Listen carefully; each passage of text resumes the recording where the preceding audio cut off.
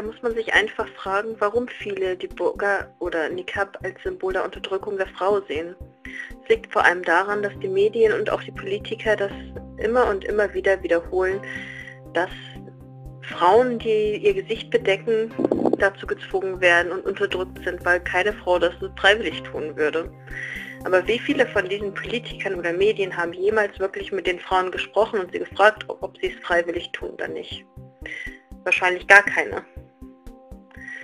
Und genauso ist es wahrscheinlich auch mit den Menschen, die dies behaupten. Die haben doch nie mit einer Frau gesprochen und sie gefragt, wie das ist. Äh, das sind alles Gedanken, die kommen den Menschen in den Kopf, weil sie das immer und immer wieder in den Medien hören.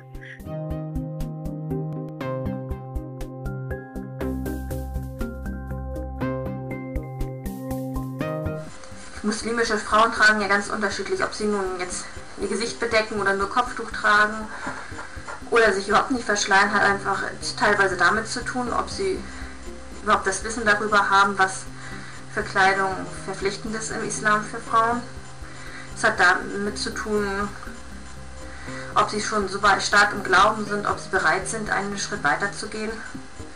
Aber das heißt jetzt nicht, dass, dass ich zum Beispiel, weil ich mein Gesicht bedecke, ich besser bin als eine Frau, die ihr Gesicht nicht bedeckt oder besser bin als eine Frau, die nicht mal Kopftuch trägt.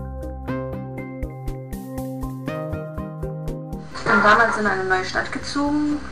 Und in einen Stadtteil, wo halt sehr viele Muslime lebten. Und ich hatte bis dahin überhaupt keine Ahnung vom Islam. Und habe dann einfach angefangen, mich Stück für Stück mit dem Islam zu beschäftigen, habe auch mit Muslimen geredet über die Religion, weil im Grunde wollte ich eigentlich ihnen ausreden, dass der Islam die Wahrheit ist.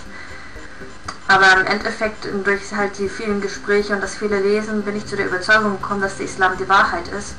Und habe mich auch nicht entschlossen zu konvertieren, sondern es war für mich ein, eine Selbstverständlichkeit oder Notwendigkeit zu konvertieren.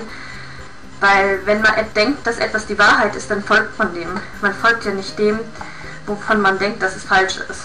Also es war es für mich selbstverständlich, dass ich den Islam angenommen habe. Erst vier Jahre später habe ich mich eher intensiv mit dem Thema Bekleidung beschäftigt und habe die verschiedenen Meinungen gelesen, was man Frau tragen soll und nicht. Und bin letztendlich zu der Überzeugung gekommen, dass es Pflicht ist, für die Frau das Gesicht zu bedecken, weil es heutzutage auch schon sehr viele Studien gibt, die durchgeführt wurden, dass allein das Gesicht einer Frau schon den Mann hormonell beeinflusst und allein das schon Auswirkungen auf seine Konzentration und sein Denkvermögen hat.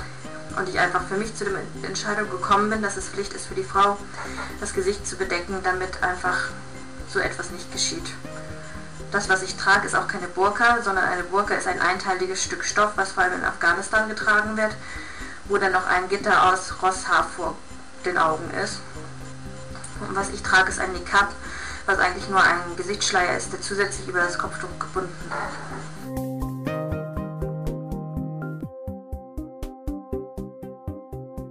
mit Niqab oder Burka kriegt man in Deutschland ja schon mal gar keine Arbeit.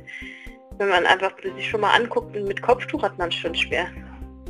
Ich kenne Rechtsanwalt, also Jurastudentinnen, die ihr Studium nicht beenden konnten, als sie Kopftuch trugen. Es gibt genug Lehrerinnen mit Kopftuch, die nicht arbeiten dürfen, weil sie ein Kopftuch tragen. Ich meine, wie stellt man sich das vor? Eine Frau mit, mit Niqab oder Burka hat ja überhaupt gar keine Chance.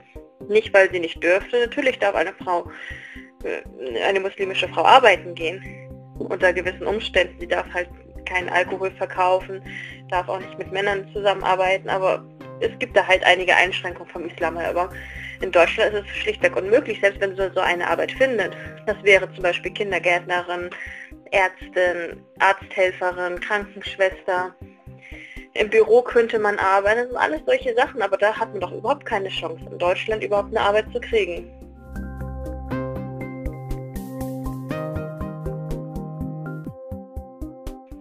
Ablehnung im Alltag trifft man eigentlich nicht. Es gibt Tage, es gibt Wochen, da passiert überhaupt gar nichts.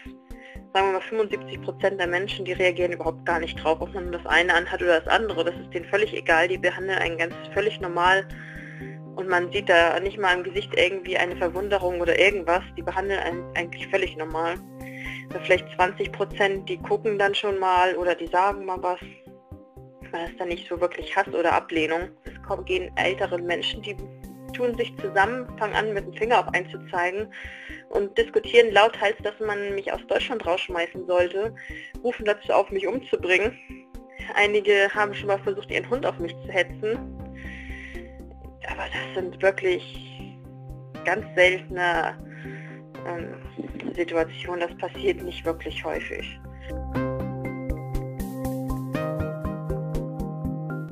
Integration ist, finde ich, ist für mich das Unwort des Jahrtausends.